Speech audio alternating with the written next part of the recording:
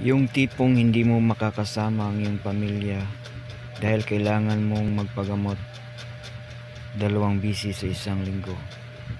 Hi, ako nga pala si Narjon Gilias, isang dialysis patient sa Lixian Dialysis Center. Dalawang bisis akong nagda-dialysis sa isang linggo.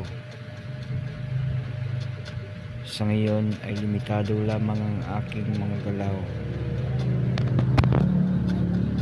Ako makabisita sa aking pamilya dahil napakalayo nito. Mahirap man pero kinakaya ko ang lahat dahil meron pa akong mga pangarap na gustong mabot sa aking buhay. Patuloy akong lumalaban, humahanap ng paraan para makabayad sa bayarin at gastusin araw-araw.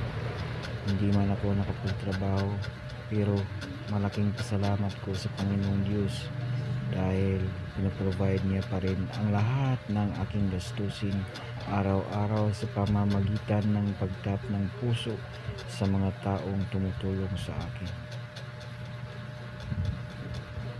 Kaya maraming maraming salamat. Ang hiling ko na lang sana ay gumaling ako.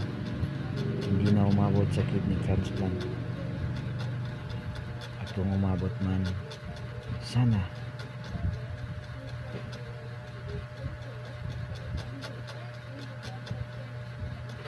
ay may mag-sponsor ng bayarin ko gastusin sa kidney transplant at mga gamot.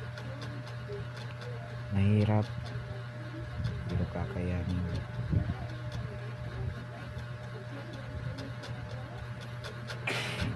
Gayon pa man, kahit anong mangyari, ipinapasa Diyos ko na lang ang lahat.